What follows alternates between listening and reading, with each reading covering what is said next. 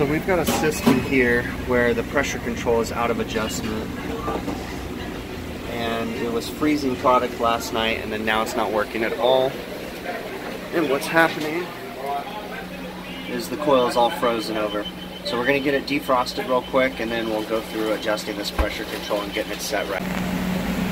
So while I'm waiting for this unit to defrost, I wanna point out that this is in fact a newer unit, probably only eight years old. It's got a new coil in it, but it does not have any temperature controller on it.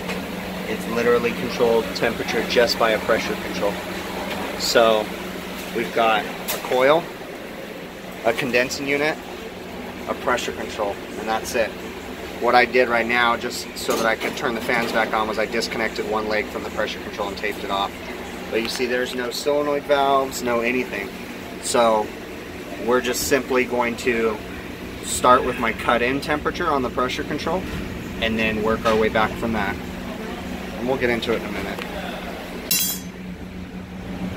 So it didn't take too long. I went ahead and got this guy to uh, defrost itself. I just let the fan do it, maybe eight, ten minutes, something like that. So I'm gonna go ahead and put it back together. I just opened it up to verify there was nothing on the coil. There's not.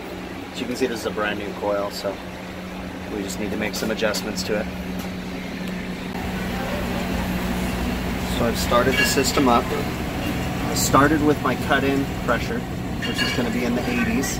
I took my pressure chart and I found 39 degrees. That's what temperature I want this system to turn back on at, is 39 degrees. So then I set my cut in on my pressure control at 39. And I will adjust the differential or the cut out as I see fit while watching the box run. Okay, the box is running right now.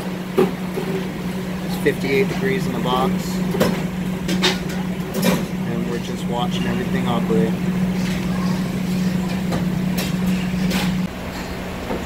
So the unit's running. It's coming down in temperature You can see my box temp is at 41 degrees right now. Let's return air temp.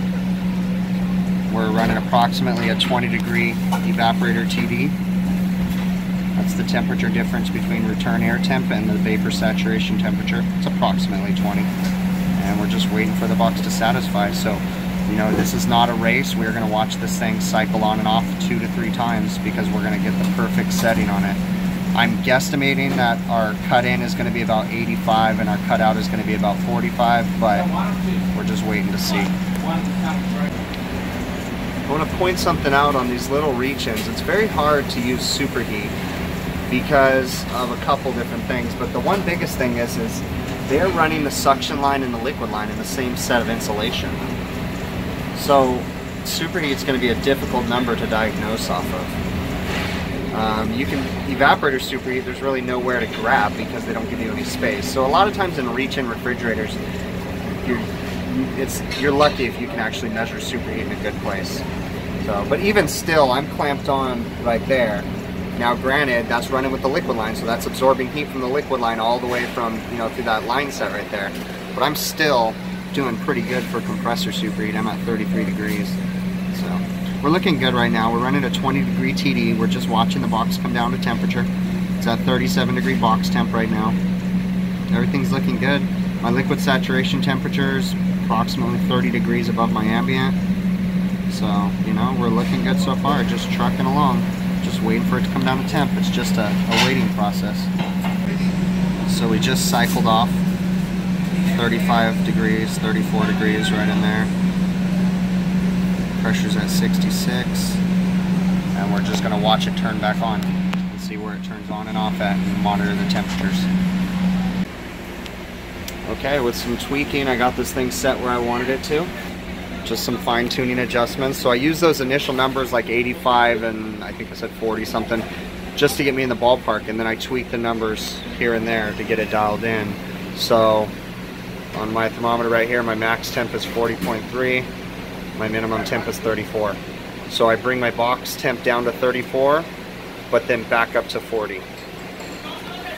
That's perfect. That's the perfect setup. That's the most uh, most split that I want to put between there because I go any colder and I'm going to start risk uh, freezing their products because that air blowing off the coil is a lot colder than 34. So we don't want to freeze their lettuce or anything. So yeah, that's where we're at, and I'll explain a little bit more in the recap. Okay, so let's do a little recap here. We had a service call on a Delfield refrigerator that wasn't working properly. Okay, this one is a little peculiar um, because they're actually using a low pressure control as a temperature controller for this unit. There is no solenoid valves and there is no electrical, mechanical, or digital temperature controllers whatsoever. So they're simply monitoring the box uh, low side pressure and they're using that to cycle on temperature. Okay. I recently did a podcast with Bryan Orr on HVAC School um, talking about uh, reach-in refrigerators temperature controllers. And we kind of covered this a little bit. I also wrote a tech tip on his uh, website also about this same topic. And that's of using a low pressure control as a temperature controller. Okay, it's not a very common thing anymore, but I do occasionally run into it. So this one's pressure control was actually out of adjustment. So the pressure control was making the box get too cold and it caused the evaporator coil to freeze up. I defrosted the evaporator coil and then I went to go about uh, adjusting the pressure control to the right temperatures and pressures, okay? The way that we did that was we started with our cut in temperature, okay? I knew that I wanted this box to turn the compressor back on when it got to around 40 degrees, okay?